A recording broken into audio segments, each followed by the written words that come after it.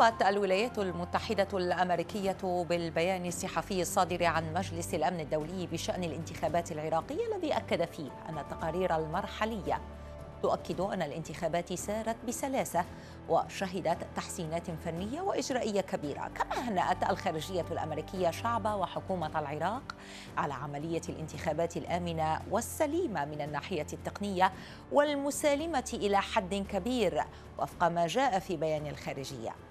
الخارجية أيضا وصفت الانتخابات العراقية بالفرصة للناخبين العراقيين لتقرير مستقبلهم من خلال حكومة تعكس إرادتهم. كما أعلنت عن انضمام الولايات المتحدة إلى المجتمع الدولي في إدانة تهديدات العنف ضد بعثة الأمم المتحدة لمساعدة العراق يونمي والمفوضية العليا المستقلة للانتخابات IHEC والعراقيين.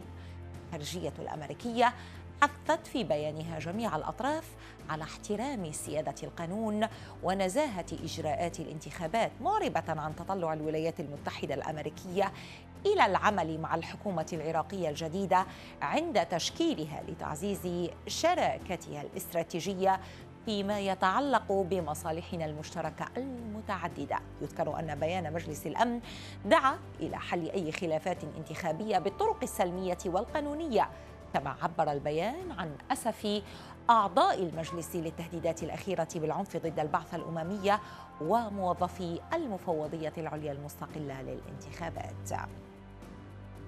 أما سفير الولايات المتحدة الأمريكية في العراق ماثيو تريلر وخلال مشاركته في ملتقى الشرق الأوسط الذي عقد في إربيل بمشاركة دولية جدد رفض حكومة بلاده لأي تهديدات تطال المفوضية العليا للانتخابات العراقية.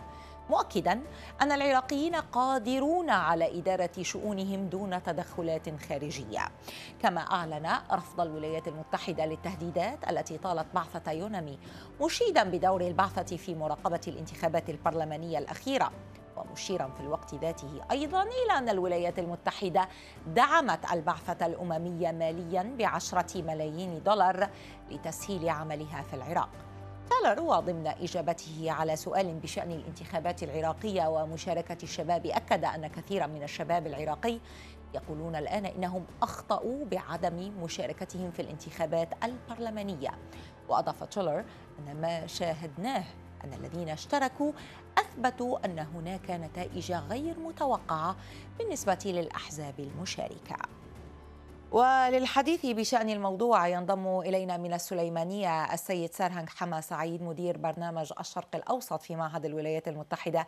للسلام سيد سرهنج أرحب بك معنا في برنامج بالعراقي بداية شاركتم في مؤتمر الشرق الأوسط المنعقد في أربيل. كيف كانت ردود الأفعال بشأن التهديدات بالعنف ضد موظفي مفوضية الانتخابات العراقية وموظفي اليونامي؟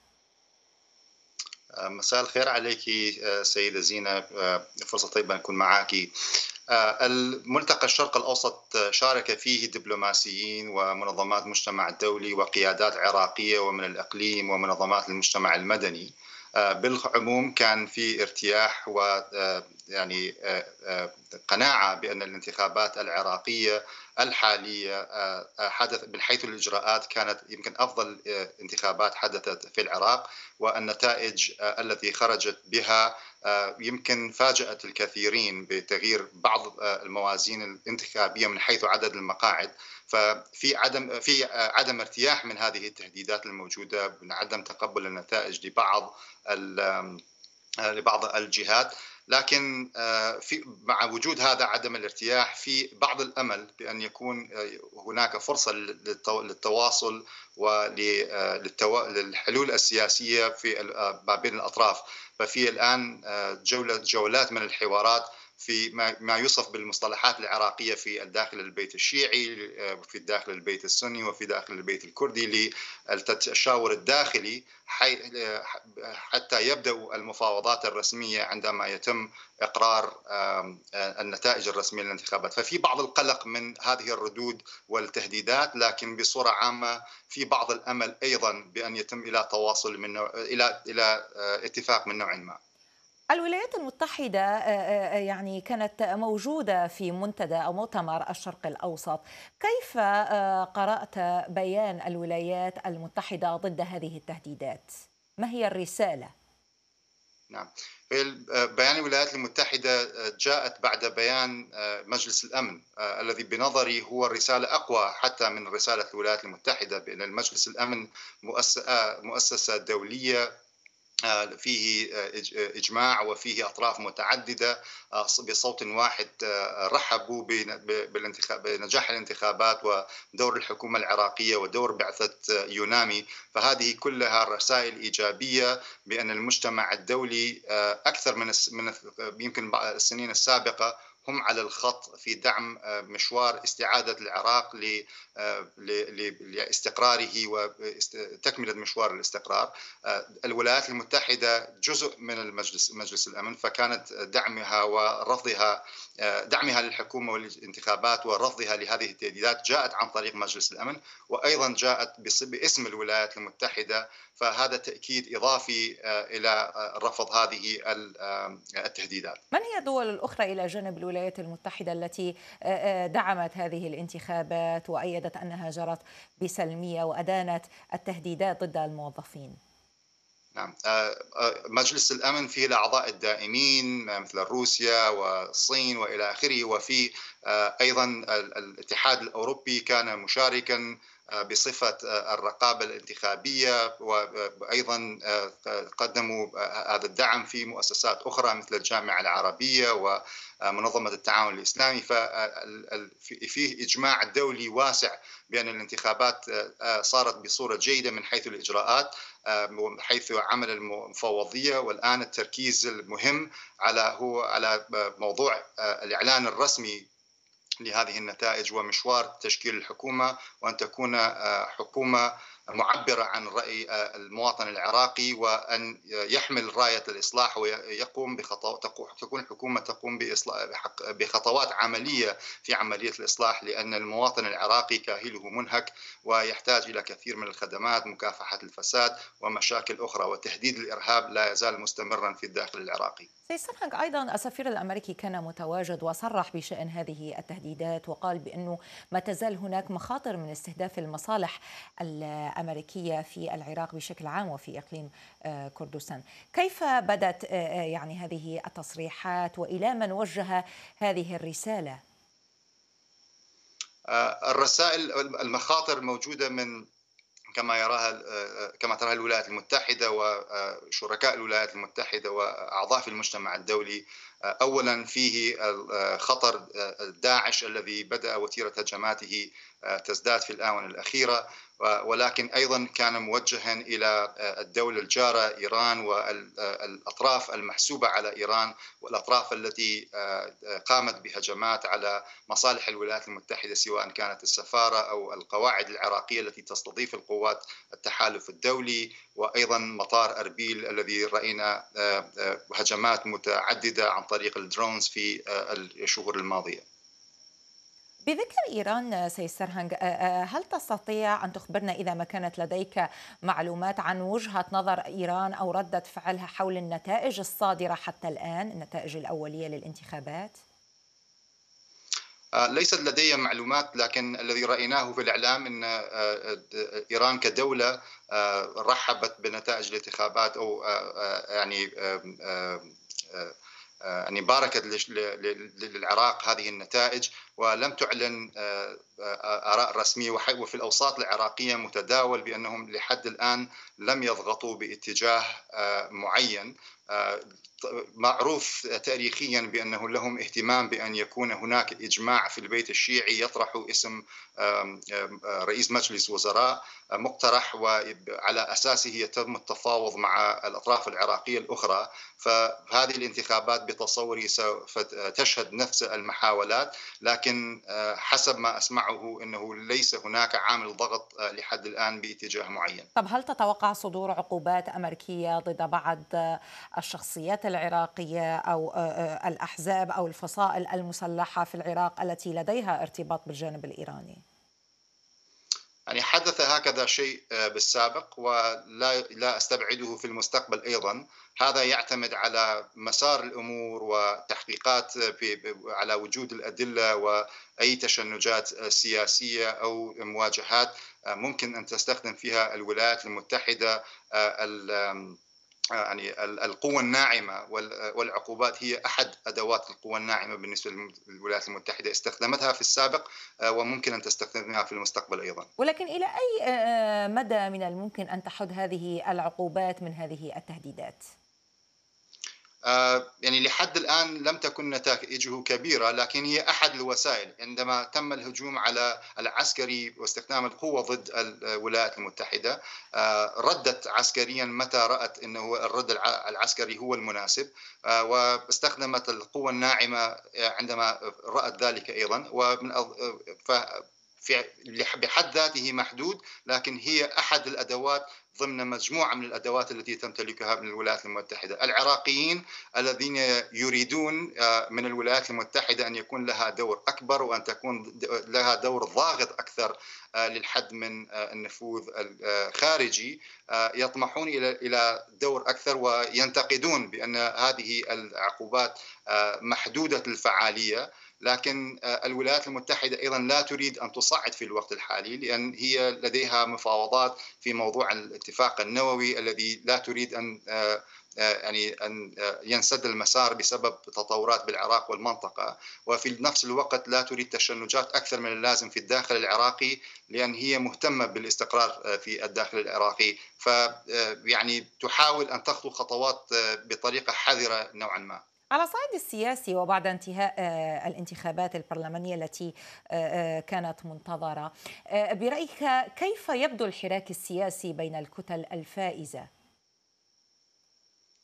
الحراك السياسي حسب ما سمعته في الأيام السابقة من من من الحوارات إنه لا يزال كما ذكرت سابقا إنه الحوار هو في داخل البيت الواحد مثلا الأطراف الكردية في مرحلة تشاور يحاولون أن يذهبوا إلى بغداد بأهداف مشتركة وبصف واحد كما هناك آه، آه، أفكار بهكذا اتجاه في الوسط السني لكن يمكن أكبر آه، الأنظار هي باتجاه ما سيحصل في داخل البيت الشيعي. فالتيار الصدري حصل على أكبر نتيجة من المقاعد الذين يرون إن ديمقراطية العراق ستكون مصانة أكثر ولها مستقبل أفضل إذا انكسر هذا الاصطفاف الطائفي الإثني وإنما حصلت توافقات عابرة للطائفية وعابرة لهذه المكونات. يأملون أن يكون فيه تحالف من بين بين الصدريين وبين السيد الحلبوسي وبين الحزب الديمقراطي الكردستاني أو الأطراف الكردية بصورة عامة. لكن هذا تاريخيا كان صعبا بالسابق.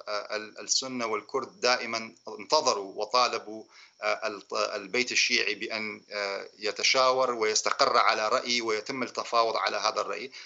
لحد الآن هذا المرحلة من التفاوض لم يحصل وأتصور الكل هذه المرحلة من التفاوض ولكن الإطار التنسيقي الشيعي دائما ما يعلن بأن هناك تفاوضات بشأن تشكيل الحكومة حسب تصريحات إعلامية.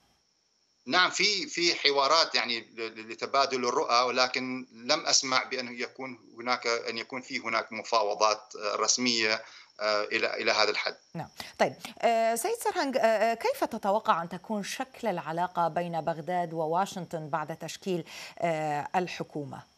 طبعا في ظل النتائج الموجودة حاليا. نعم.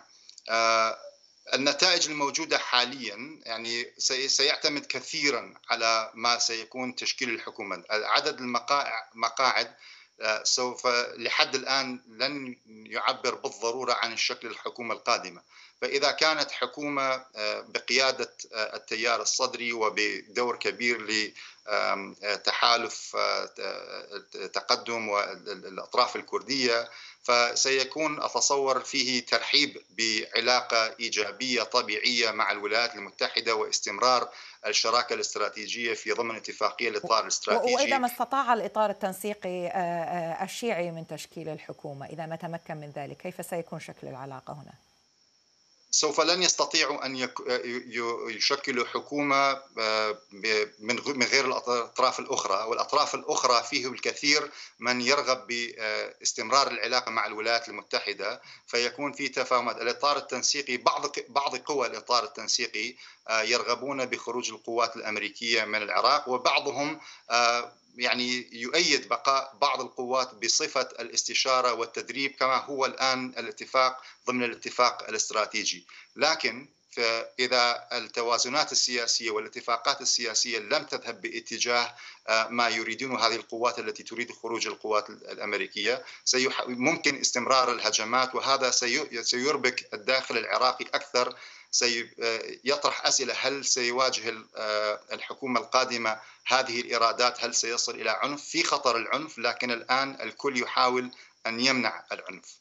ممتن كثيرا على حضورك معنا من السليمانية السيد سرهنج حما سعيد مدير برنامج الشرق الأوسط في معهد الولايات المتحدة. للسلام شكرا جزيلا لك. مشاهدينا بعد الفاصل نرحب بضيوفنا من الولايات المتحدة الأمريكية والحديث مستمر بشأن الموقف الأمريكي من التهديدات التي طالت مفوضية الانتخابات العراقية وبعثت الأمم المتحدة لمساعدة العراقيين خليكم ويانا.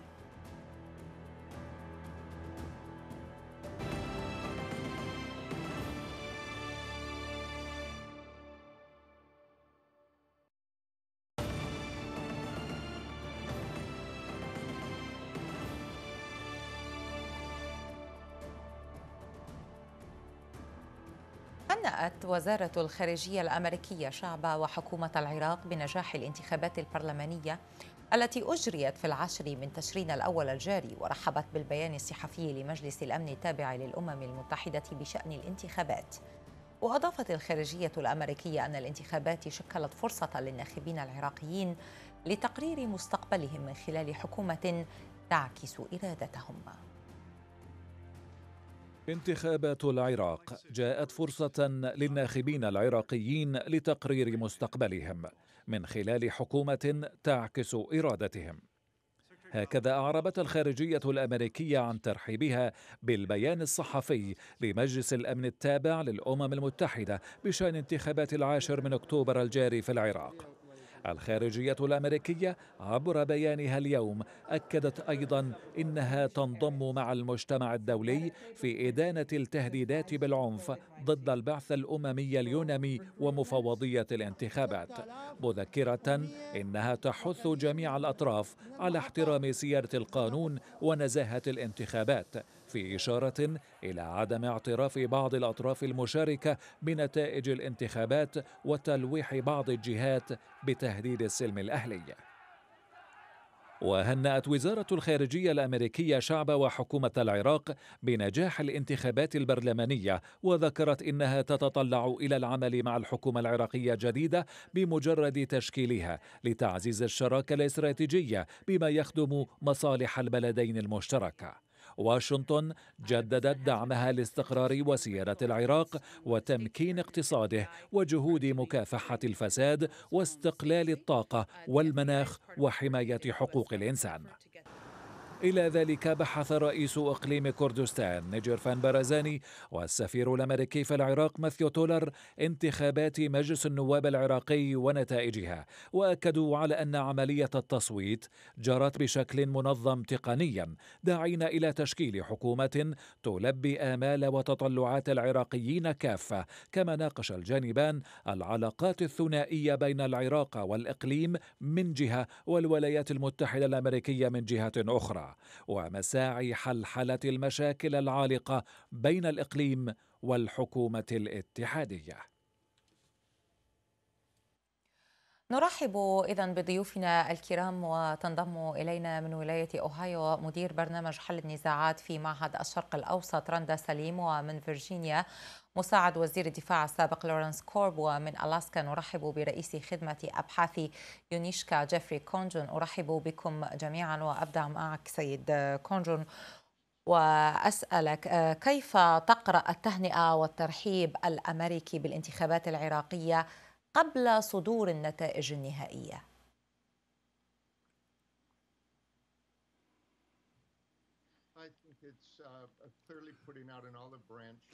أنه فرع أو محاولة للقول بأن الولايات المتحدة ستعمل مع هذه الحكومة بغض النظر عن تشكيلها لأن الحكومة الإيرانية ووكلائها هزموا في الانتخابات والولايات المتحدة منفتحة على العمل مع مقتضى الصدر. وهذا غصن زيتون للقول بأن الانتخابات كانت أمينة وتعكس صوت الشعب. ولكن حتى الآن آه، آه، لم يشكل التيار الصدري الحكومة وغير معلوم إذا ما تمكن هو من تشكيل هذه الحكومة. صحيح أنه فاز إذا آه، ما صنفنا عن الجانب الشيعي هو حاز عن المرتبة الأولى إلا أنه هذا الموضوع قابل للنقاش خلال الأيام المقبلة سيد كونجون. هذا بالإضافة إلى أنه إذا ما توجهت بنفس السؤال إلى السيدة رندا سيدة رندا هناك من أشكل على هذه التهنئة وقال بأنها متسرعة سواء كانت لمجلس آه، آه، أو حتى آه، ما تقدمت به الولايات المتحدة. وقال بأنه ما زالت النتائج النهائية لم تظهر. كيف تردين؟ التهنئة كمان كمان بالذات بنفس الوقت كانت هي تهنئة على سير العملية الانتخابية لأن العملية الانتخابية لأول مرة يمكن بتاريخ العراق منذ 2003 عملية لم تشبه أي أي آه، يعني أي شوابه فينا نقول آه، في عملية السير عملية سير العملية نفسها.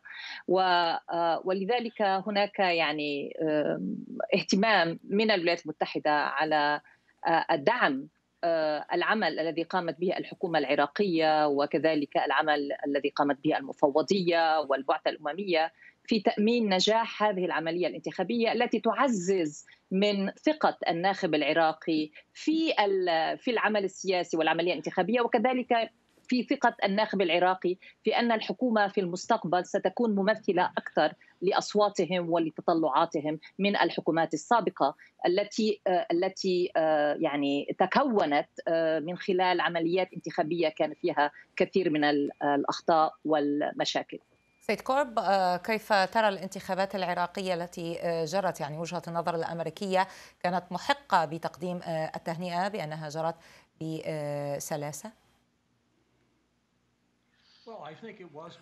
أعتقد أنه كان أمر ملائم كما ذكر زميلي بالمقارنة بالانتخابات الأخرى التي صادفت الكثير من المشاكل.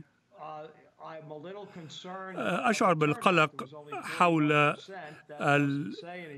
نسبة المقترعين 41% ولكن الأخبار السارة هي أن مقتدى الصدر آه، ربح معظم الكراسي وهو آه، كان ذلك دحضا لإيران. من كان يدعم إيران نتائجهم كانت سيئة للغاية في الانتخابات. حصلوا على 17 مقعد بالمقارنة ب 73 مقعد حصل عليه مقتدى الصدر. إذا أعتقد أنه كان من الجيد للولايات المتحدة ما حدث. هناك قلق حول تشكيل الحكومة. هل سيعمل الصدر مع السنة والأكراد؟ وهذا سيكون أفضل شيء. من مصالح الولايات المتحدة. أنت تقصد بأن التيار الصدري حاز على آه، معظم مقاعد من يمثل المكون الشيعي لأنه آه، آه، هو لم يحز على معظم مقاعد البرلمان.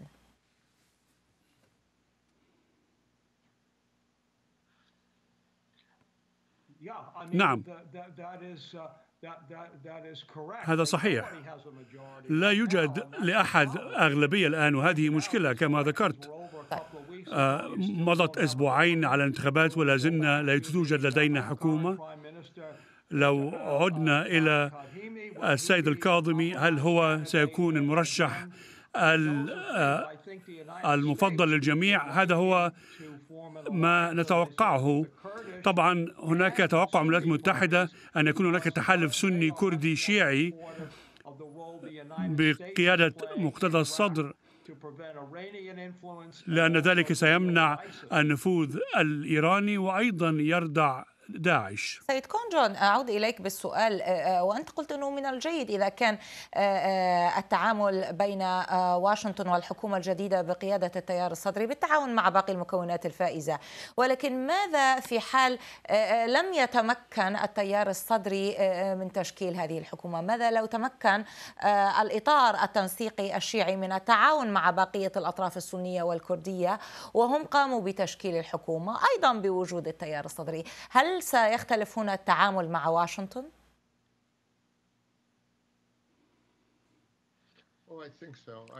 أظن ذلك. من الواضح أن المرشحين الثلاثة التي نراهم الآن الكاظمي أو المالكي أو حتى جعفر الصدر. أي من هؤلاء الثلاثة سيعمل بشكل جيد مع الحكومة الأمريكية؟ ولكن قد تكون قد يكون هناك مرشح مفاجأة لم نراه حتى الآن وسيخرج من المفاوضات. أعتقد أنه في الوضع الحالي مقتضى الصدر يعمل مع البرزاني للتفاوض حول تشكيل الحكومة. وأرى أن الأكراد والصدر هم الذين سيقرروا في النهاية من سيكون الرئيس الوزراء القادم والرئيس رئيس الجمهورية القادم. أعتقد أن هذه النقاشات الجارية بين السيد الصدر والأكراد ستفتح المجال لما يتخطى اتفاق لندن. وعادة يكون هناك تقيد بهذا الأمر ولكن هذه الانتخابات فريدة في أنها تعكس إرادة الشعب العراقي على عكس النفوذ الخارجي. بالتأكيد إيران رفضت الولايات المتحدة لم تكن لاعب رئيسي في الانتخابات.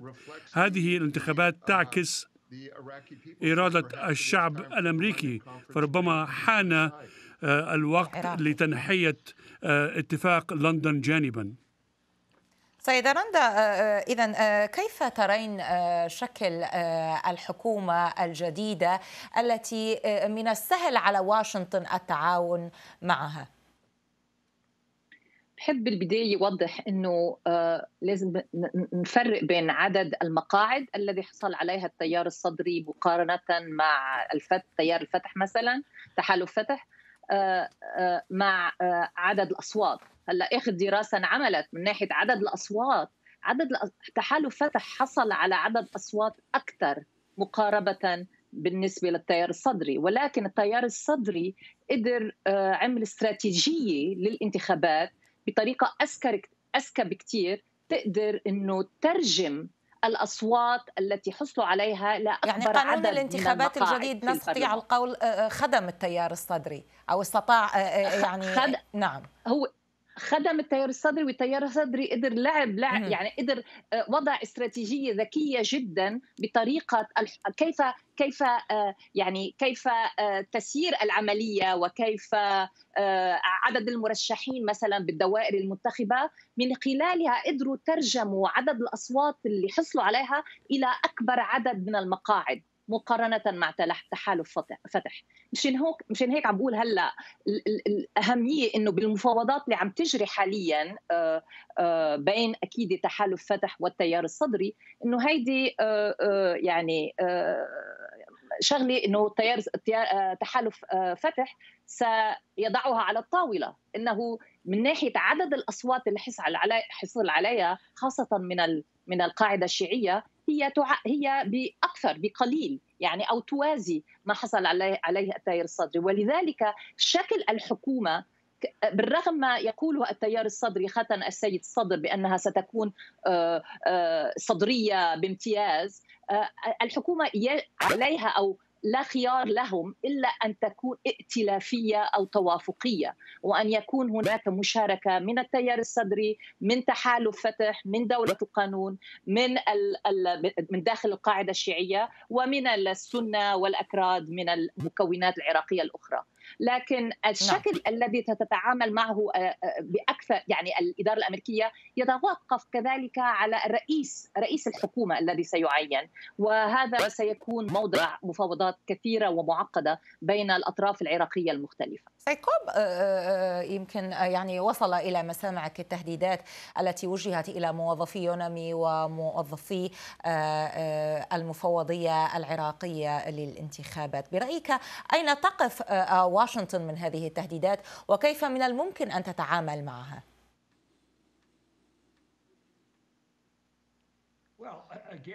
مرة أخرى الولايات المتحدة ستشعر بالقلق آه، على هذه التهديدات ومن يقف وراءها. هل إيران أو هل ستحاول إيران السيطرة على العراق؟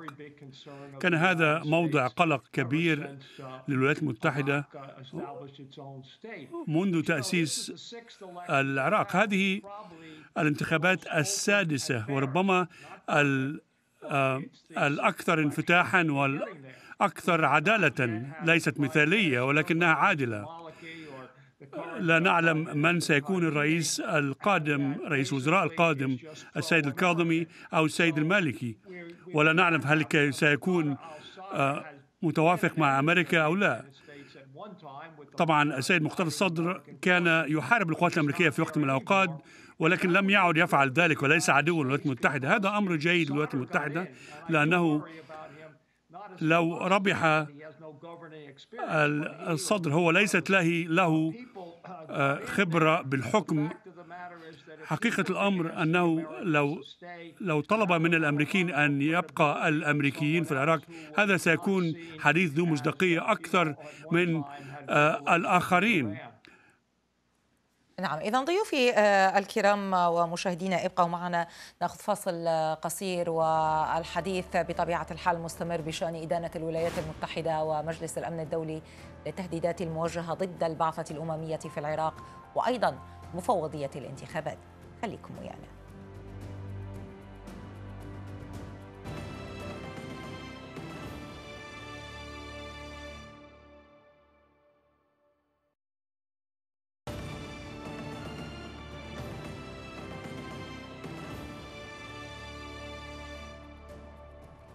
جدد السفير الأمريكي في العراق ماثيو تيلر رفض الولايات المتحدة استهداف المصالح الأمريكية في البلاد مؤكدا فرض واشنطن عقوبات على المجموعات الخارجة عن القانون والتي تستهدف المصالح الأمريكية والعراقية.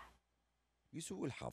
فإن العقوبات التي نفرضها على الذين ينفذون الهجمات بالصواريخ محدودة جدا والتي لا يمكن أن تغير سلوكهم. وبإمكاني أن أؤكد لكم أن هناك بعض الأشخاص مدرجون على قائمة تلك العقوبات.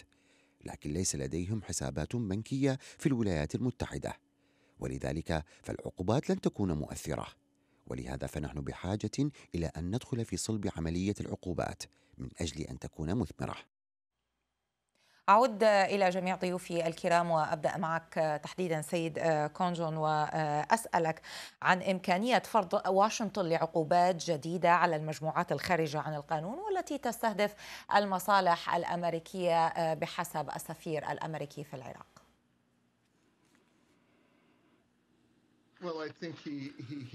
أعتقد أنه أصاب تماما في قوله أنه هناك قدر محدود آه، من فعالية هذه العقوبات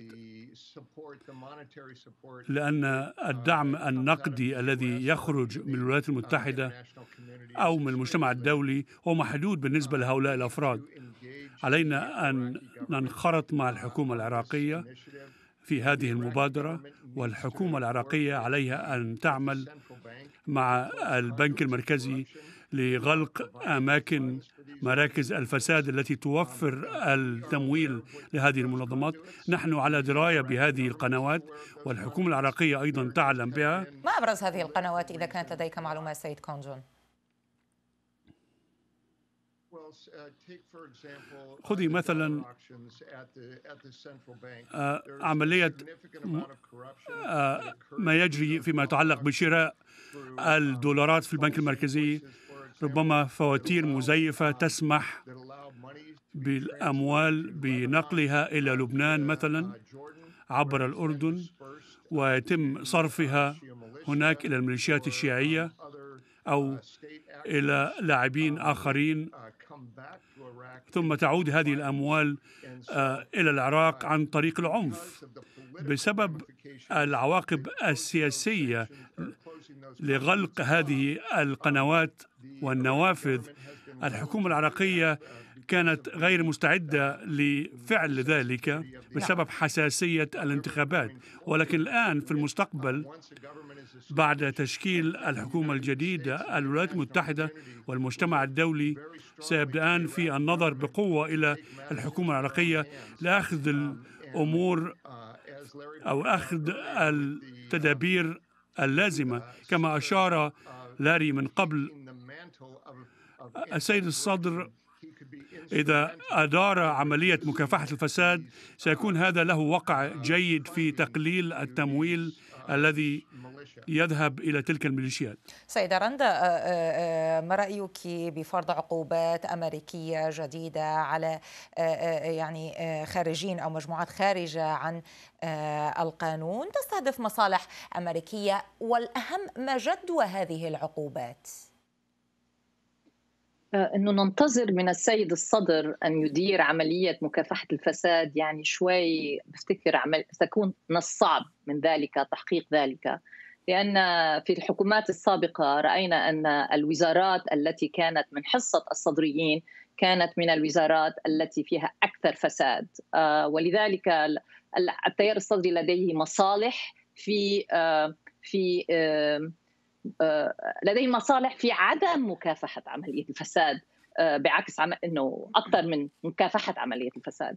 هلأ بالنسبة للعقوبات على على المنظمات التي تهدد المصالح الأمريكية أوافق الرأي بأن هناك يعني كما قال السفير الأمريكي في المؤتمر الذي تطرقت إليه في المقابلة سابقا هناك حدود آه، لنجاح أو لقدرة هذه العقوبات على تغيير سلوك هذه المنظمات بالنهاية هدف هذه العقوبات هي تغيير سلوك آه، رفع كلفة السلوك الذي نريد هذه المجموعات أن أن لا تتبعه. آه لذلك ونرى أنها انها العقوبات سابقا لم تنجح في تحقيق ذلك. وهناك والإدارة الأمريكية حاليا قامت بمراجعة يعني معمقة للعقوبات التي طبقت سابقا ليس فقط في العراق ولكن في إيران وفي غيرها وكيف وكيف وما هي الطرق التي يجب أن تتبع. العقوبات هي جزء من أدوات مختلفة آه، تستطيع أن تستعملها الحكومة الأمريكية آه، في آه، في تعاملها مع منظمات مختلفة مع الحكومة العراقية مع منظمات خارجة عن السلطة العراقية. ولكن كما قال الزميل سابقا سينتظر من الحكومة المقبلة خاصة من الإدارة الأمريكية ومن المجتمع الدولي سينتظر منها أن أن تقوم بجهد أكبر في عملية مكافحة الفساد. ولكني أشك بأن هذا الجهد سيتم آه، القيام به. سيد كورب آه، هل تعتقد أن الولايات المتحدة تتجه آه، فعلا إلى فرض عقوبات جديدة على جماعات خارجة على القانون لها صلات بالجانب الإيراني خاصة وأن الولايات المتحدة الآن يعني قد تكون تتجنب التصعيد مع إيران فيما يصب بمصلحة الملف النووي؟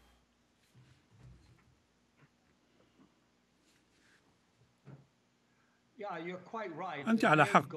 الهدف الأساسي للولايات المتحدة الذي يركزون عليه هو آه، إعادة إيران إلى الاتفاق النووي التي خرج منه السيد ترامب في عام 2018 نرى ذلك على أنه أكبر تهديد. الناس تنسى أن العراق أننا تركنا العراق في عام 2011 لأن حكومة الملكي طلب منا المغادرة. ثم عدنا عندما طلبت منا الحكومة التعامل مع تهديد من داعش وفعلنا ذلك. الناس تنسى ذلك.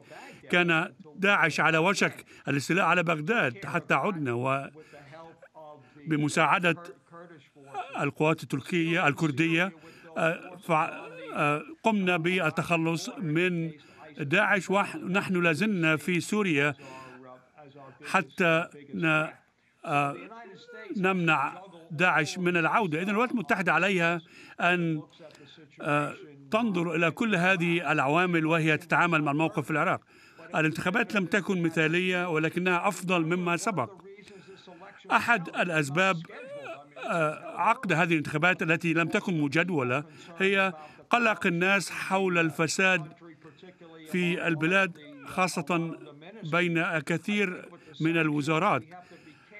علينا أن نكون حذرين من العقوبات بحيث لا تضر بالشعب وليس الحكومة. ورأينا ذلك حدث في إيران بالفعل. ولكن هذه العقوبات آه، يعني الخارجين عن القانون دائما ما يظهرون على الشاشات ويقللون من أهميتها.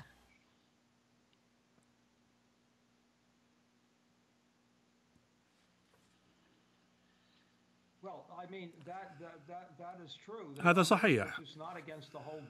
طبعا هي العقوبات ليست ضد كل الحكومة ولكن هناك طبعا سيكون هناك تغيير. كان هناك فساد في الوزارات آه، ولهذا عقدت انتخابات لأن الشباب في البلاد كان قلق من هذا الأمر. الأمر المحبط هو أنه على الرغم من قلق الشباب لم يخرج الشباب للاقتراع. بأعداد كبيرة لأنه كان هناك عنف في بعض الأحيان ضدهم. سيد آه، آه، كونجون آه، أعود إليك بالسؤال. نسبة الأربعين بالمئة أو ما تقارب الأربعين بالمئة من المشاركة والتي أفرزت عنها هذه النتائج هل تعتقد أنها تمثل رغبة الشعب العراقي فعلا؟ لأنه نسبة المشاركة 40 فقط أو ما يقارب الأربعين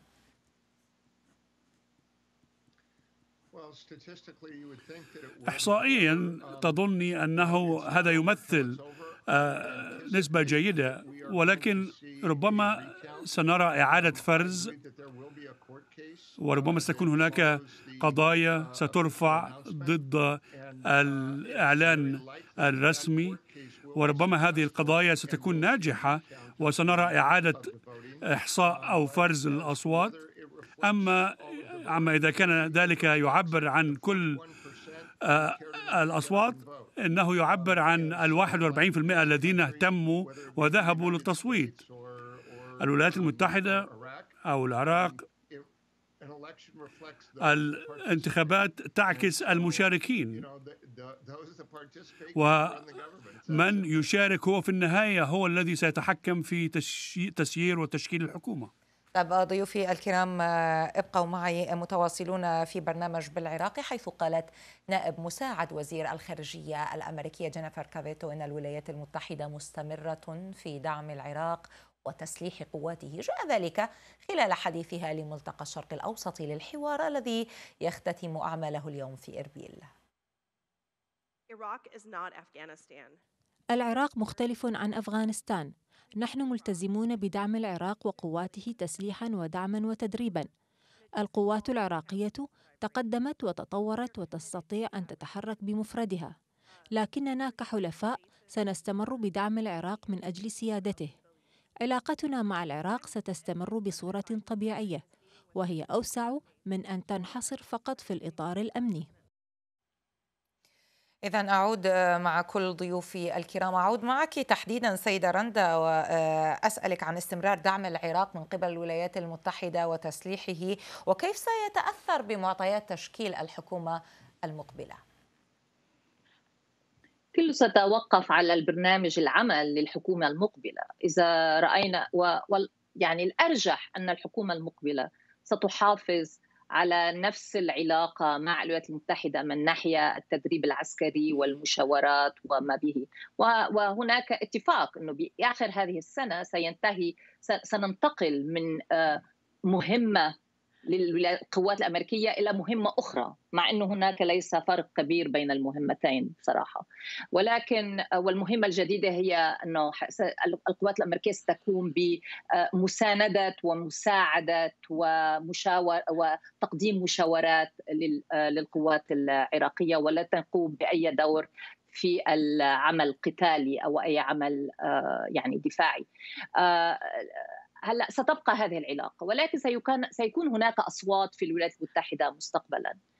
آه إذا لم تستطيع الحكومة العراقية في المستقبل الحكومة الجديدة من لجم هذه المنظمات المسلحة الخارجة عن القانون التابعة لإيران من القيام بأعمال عدائية تجاه الولايات المتحدة سيكون هناك أسئلة أكثر داخل الكونغرس داخل المجتمع السياسي الأمريكي حول ماذا نفعل هناك.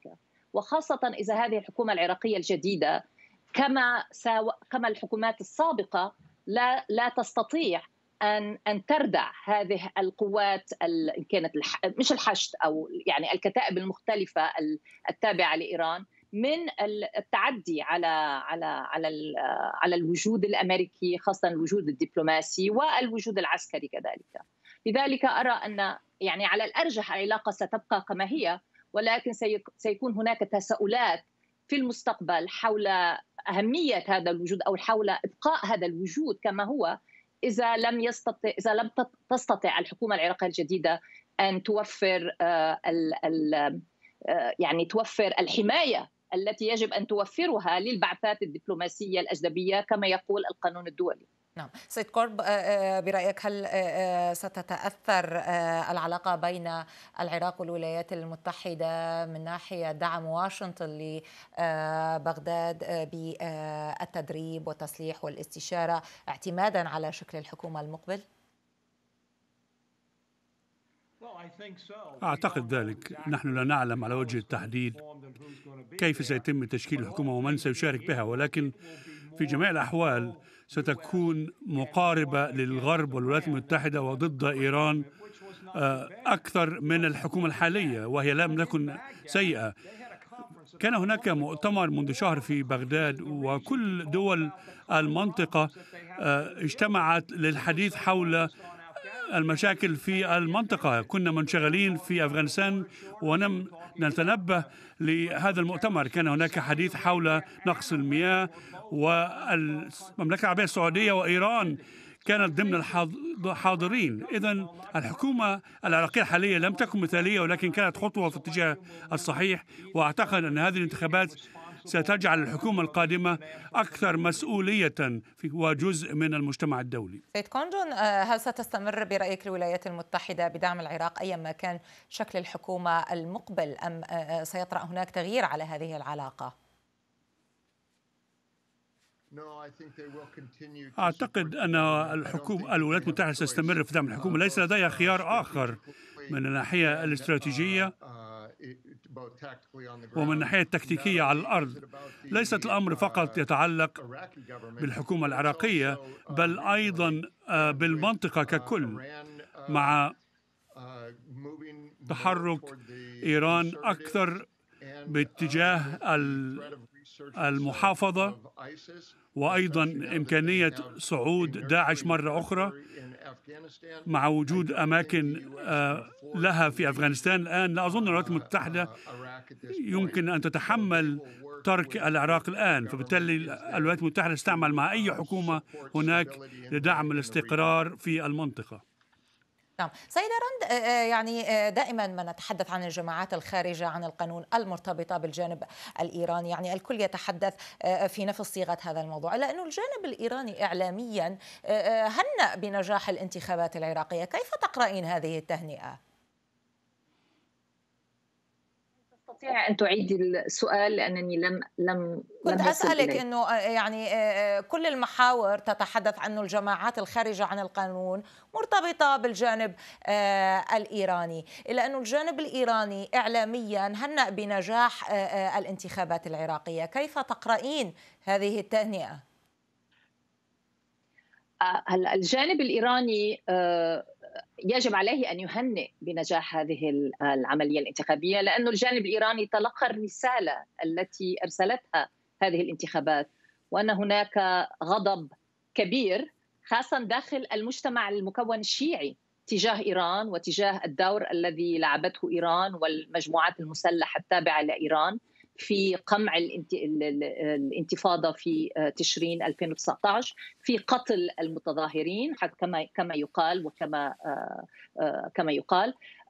لذلك أعتقد أن الجانب الإيراني سيكون حذر من القيام بتدخل فاضح في عملية تشكيل حكومة كما كان في كما كان يفعل سليماني في السابق ورسالة الصدر التي السيد الصدر التي أرسلها لكل آه، آه، الدول المجاورة لإيران لمجاولة العراق حول عدم التدخل في عملية تشكيل الحكومة والمحافظة على سيادة العراق. كانت رسالة واضحة جدا وقوية وكانت بس, بس يعني مع أنه وجهها لكل لكل الدول المجاورة ولكن يعني القراءه قراءة هذه الرسالة تعني أنها موجهة أكثر لإيران من أي الدول المجاورة الأخرى.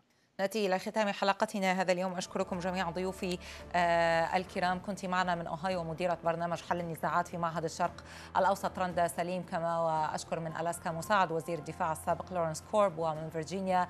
كان معنا آه رئيس خدمة أبحاث يونيشكا جيفري كونجون.